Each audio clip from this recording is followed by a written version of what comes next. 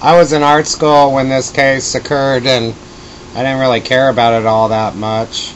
But then the media circus just got out of control, so the image was everywhere, and I'm going to make a painting of it.